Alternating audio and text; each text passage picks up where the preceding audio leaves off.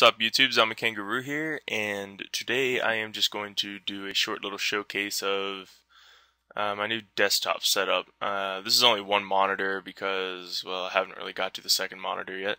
So, um, yeah. As you can see, this is a custom wallpaper, and I got a render from someone on DeviantArt that I'm not even sure. Uh, if I find him, I'll put him in the description, the link but if you want to render like this, just go to DeviantArt and search renders and you'll find plenty of them. Um, so I also got the basis of this theme off of DeviantArt from one artist who had the same pretty much wallpaper setup, uh, but he had a, a, little bit different organization. Uh, so as you can see, there's a lot of parts moving in here and a lot of parts that aren't. That's because I photoshopped the background and put some vector brushes in here. Um, but before we get to that, uh, you'll notice there's no taskbar. It's because it's just hidden. Simple thing to do there. Uh, but and then on the bottom, I also have Rocket Dock to be able to pop up, and my windows are getting minimized to Rocket Dock, and they'll go down there. So yeah, um, all these icons right here are custom created. Once again, uh, on DeviantArt, there was someone with orange icons set, and then I just changed changed it and put like my own black background and reflected them and put the stripe in and all that stuff.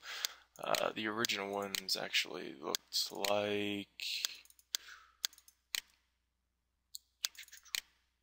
this right here.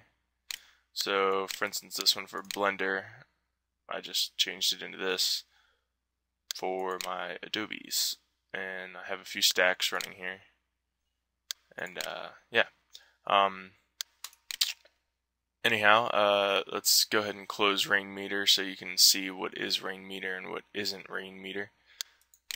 So we'll go ahead and exit out of that. So this is my wallpaper right now. Um, all it is is it's a gray to white gradient and um, a render from DeviantArt that I changed to like a molten molten lava orange and up the contrast a lot. And then uh, this is just a tech brush set right here, here, here, and here. Um, and then if we actually bring Rainmeter back up, you'll see what else what here. Give it a sec, load. And there we go. Um, so it adds a lot more movement into the circles and the metering. And I'm also using Winamp on the second screen, and I have a few Winamp controllers actually. Um, if we go ahead and play this, uh, you guys won't be able to hear this right now. Um, but I have a full control over here. So as you can see, I got a few things like the scan line. I really like the scan line thing moving down by my mouse here. It just constantly goes. Anyhow, um, a lot of this stuff I don't even really use. It just looks really badass. But uh, another thing that I found out I could do with Winamp that I really didn't know I could do before is set it as my desktop background.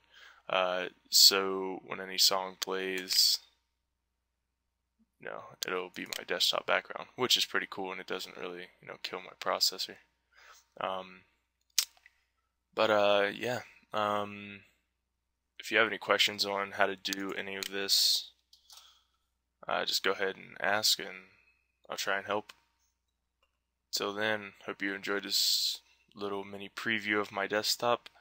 Uh, might be some improvements in the future. Peace.